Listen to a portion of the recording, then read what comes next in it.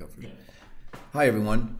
Uh, Mark Lorenzoni here, and uh, it's been an honor and a thrill to be um, involved in with, uh, with the Virginia Institute of Autism for the past 25 years of my life. It's been uh, really, truly one of the joys of my adult life to be involved with such a wonderful place, and I'm really excited to have you uh, participate in our unique um, edition of our um, annual run um, the Run for Autism. It's normally a 5K, it'll be two miles, and it's out at beautiful Panorama this year, uh, thanks to Steve Murray and his family um, for allowing us and hosting us to have this special run on this absolutely iconic uh, course.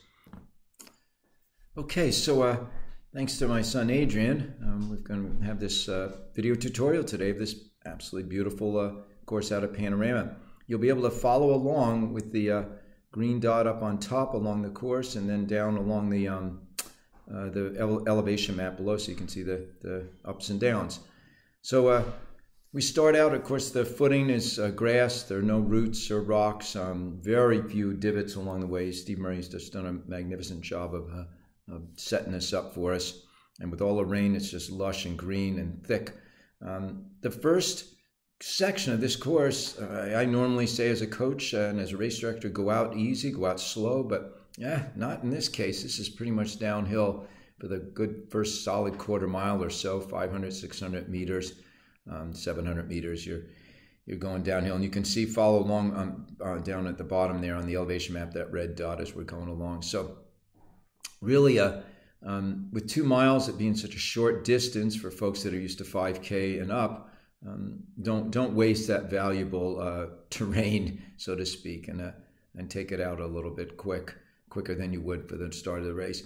And then the early uphills of a race, any race, I, I always recommend, and here we are, we're, we're gradually going uphill now.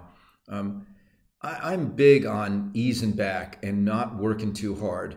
Um, you don't want to waste any uh, fuel early on. Um, this is why so many folks fake, fade towards the end of a, an event is because they push the, the uphills too hard at the beginning. So um, uh, really ease back on them, keep your breathing nice and relaxed, and really try and um, just feel like you're, you're it's not a lot of effort. Um, you don't want to be working hard. You don't want to be passing people on this uh, early uphill here. Um, we haven't even hit the mile mark yet, so you're still semi warming up. Um, and then all of a sudden, here we go again, and this is the opposite. I would take advantage of any downhill, um, even in the first mile. And as you can see on the the um, aerial map on the left with the red line on it, um, we're about three quarters of a mile into the course at this point, and we've got uh, another nice downhill before we we hit a little climb here coming up. And uh, I just I've run this course several times over the years at the Kelly Watt race in November and I, I love it. Um, it's special. You give into it. It's obviously slower, not because of the hills, but because of the footing, and not because the footing's bad. It's because it's grass and it's soft, and it just it takes energy away. Uh, it's almost like running in hard packed sand versus pavement. But uh, you give into that and enjoy it, um, and I think you're you're going to see how why so many high school kids. This is widely considered to be one of the most magnificent high school cross country courses and collegiate cross country. It's UVA's home course in the country and of course, it is the site. This is exciting news. It just got announced recently for the NCAA um, championships, national championships in, in 2023. It's uh, X, uh, XC23 is coming to Charlottesville, so pretty exciting. All right, so a couple of steep downhills in here, and then we're climbing back up again. And um, you really got to take advantage of the downhills any any point you can. Um, so we're we're just coming up on the mile mark here, and I, I lean in from my ankles down. I just feel like I want to, almost like a ski jumper, I want to get that momentum going. So any downhills, um, I'm, I'm leaning into and really opening it up. On the uphills, now that we're past the mile mark, um, you can really start to um, uh, work a little harder. You you're halfway finished, so now you put your effort in. The uh, the I think the toughest part of the entire course is this long, long, um, gradual uphill. Not here. This is a steep uphill. You get a little crest and a slight down. And now we're heading back up towards the starting area again. Not quite the starting area, but back up towards the house and the driveway. And it's all along here. It's just, just a gradual uphill. And it's basically a mirror of that first downhill that I talked to you about, that first quarter mile, first half mile that was on the other side of the field, you're now coming up uh, the, the opposite direction, obviously. So you can see the, the red dot down below and long straightaway. This is actually going to be the start of the NCAA's going in the opposite direction. They'll be going downhill for this first uh, quarter mile, first half mile.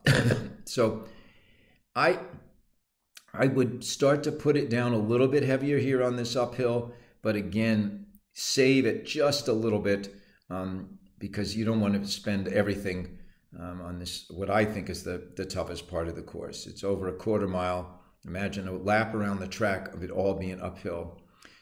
You're going to crest up here. You're going to make an immediate left. The course will be well marked.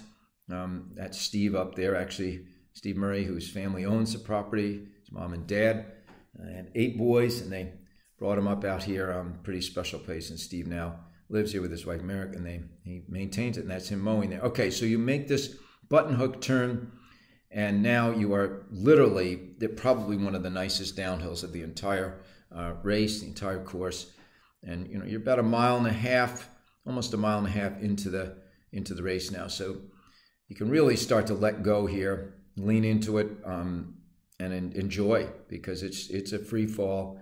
Um, you can you can see the terrain here. you these um, um, flags here will be out of the way. There, it'll just be a straight shot along here. It'll be like I said, well marked. And again, still going down, down, down, and then there's a small little creek here, kind of cool. Adds a little little adventure to it of sorts. Um, and you'll just um, jump right over it or right through it. It's it's really, I mean, it's it's a trickle uh, of sorts, um, and you'll see it right here as you bottom out. There it is. And then we got, I think, one of the toughest uphills. It's the steepest uphill of the entire race, but it's short. And I'd work it. You, you have less than half a mile. You've got about a quarter mile to go to the finish. I'd work it. Um, you you don't you want to leave pretty much everything out on the race. You don't want to be have a lot of gas left at the end as you're surging across the finish line. That's always um, was frustrating for me in my early days of racing. Is I, I didn't know how to pace myself. I'm, I'm so nervous about going out slow that I have too much left at the end. So there's a balance. So anyway, you you're going to start here working the uphill, and then you're going to see here we go pop out, and um, you've just got a straight shot to the finish line. And it's about 200 meters up to the finish line from here, um, and really kick it in. Um, just again leave it all out there. And uh, really, thanks to Adrian for helping with the filming of this. Uh, my son, who teaches over at Albemarle, used to coach the team out there, and um, he says he has a passion. This is Albemarle's home course. He loves Panorama. And I really encourage as many folks as possible that haven't signed up to come on out and support this wonderful um, organization.